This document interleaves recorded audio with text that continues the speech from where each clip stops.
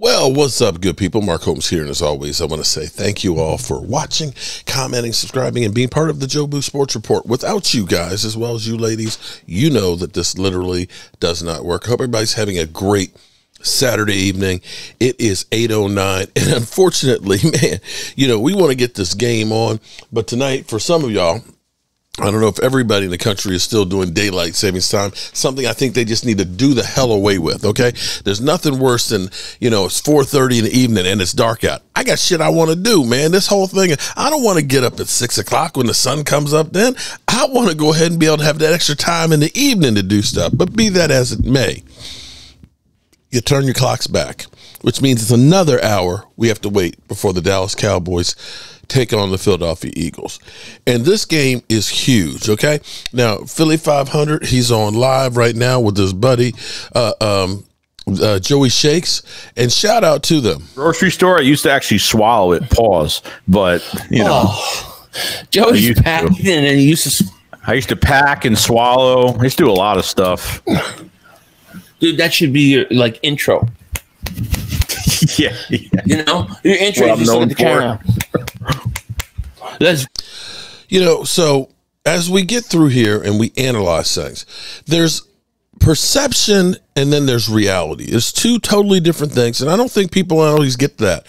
That you believe that something is true or you've seen something that makes you think that it's the case all the time.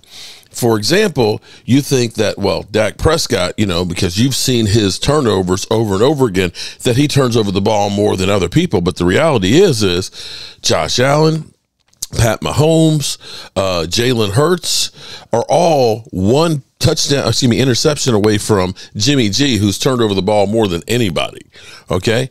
But your perception is that Dak Prescott throws a whole lot of interceptions. And the reality is he's actually one of the lowest turnover uh, players in the history of football.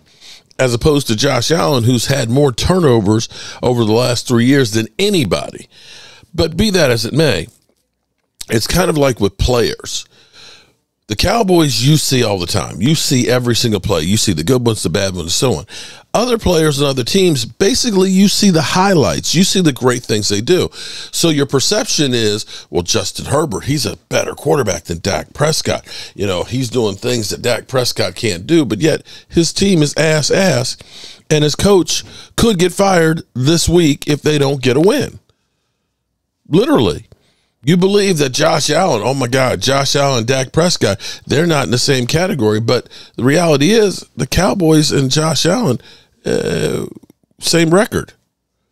We lost in the same weekend as Josh Allen. They only scored 10 points in their playoff game. So there's perception and then there's reality. And so, a couple of things that are perceptions that we have about the Eagles, but the reality is, they're not what you think. And I had when we were doing our live stream, you know, I love doing my live uh, live stream uh, call-in show.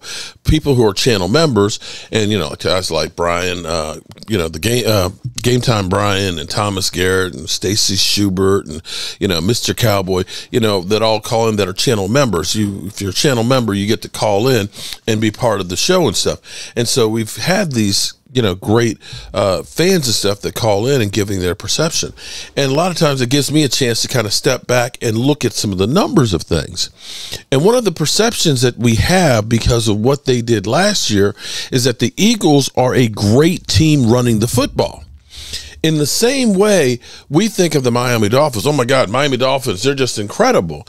Well, they lead the league in points per game at 33 and a half points, but that's skewed because of one game because of one game that they had 70 points, it just blows it away. So if you say, you know, you, you divide that, that's 10 points of their average is because of that one game of the seven games they've played. Reality is they don't score 70 points, but that makes the numbers that much higher. And so when we talk about Swift, Swift was a great acquisition, another great one done by Howie Roseman. And when you look on the surface and say, oh my God, D'Andre Swift, he's got 571 yards on the season and he's averaging 4.9 yards a carry, you say, oh my God, we got to face that guy. He is freaking incredible, right? But here's the thing that's kind of interesting as I started going through this. When you look at the numbers, they're not as good as the perception is. For example, week number one, Swift, one rush, three yards. Okay, so they, only ran him one time, so you get it. Okay, that that that one you could throw out. But then when he played against the Minnesota Vikings, oh my God, he was an absolute beast. 28 carries, 175 yards, 6.2 yards a carry. And that was his coming out party for the Eagles. I'm coming out. Yeah, he came he came out. He came out. And all of a sudden you said, "Oh my god, they got themselves an incredible running back." And he followed it up the next week with the Tampa Bay Buccaneers. 16 carries, 130 yards, 8.1 yards a carry. We're like, "Oh my god." The Eagles have a great running attack. And they got great wide receivers. Here's the thing He's got 571 yards on the season. That's great. Only half the season. That's he's he's headed to be a 1200 yard back, right? But here's the thing. That 571 yards, two games is 305 yards of it.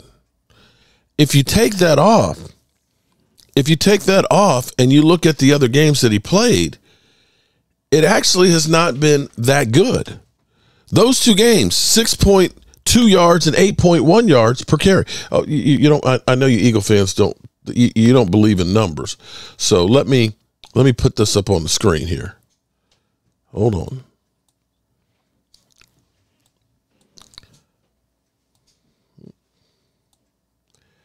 Let me put this back up on the screen here. Hang on one second because I know you won't believe me. But here's the thing that's kind of interesting is is that the right one? Nope, wrong one. Forgive me here. You know, I know I'm not a professional here. I'm I'm here at my basement. My production quality stinks, um, but I'm bringing you the real numbers. If you take out those two games, the other five games, it was average.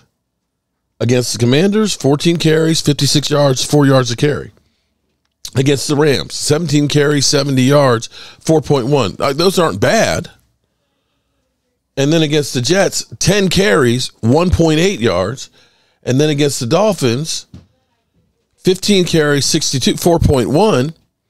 And against the Commanders, 16 carries, 57 yards, 3.6. So if you take out those two games, and I'm, yes, I'm doing a Colin Cowherd here. You look at the trend of the last five weeks that he's rushed, D'Andre Swift ain't making that much hay. He, I mean, it's, it's average at best. It's average at best. 4.1, 4, uh, 4.0, 1.8, 4.1, 3.6. Here's another one that's even more interesting because, again, we think about, you know, everybody's saying the Cowboys, we got to stop the run. We got to stop them being, yeah, well, here's what's crazy again, the Eagles started off hot, hot running the football. Let me move this over just a little bit so we can see the teams that they faced. Rushing the football against New England, you know, 3.9. Nothing nothing spectacular, but New England has a great defense. 25 carries, 97 yards, 3.9.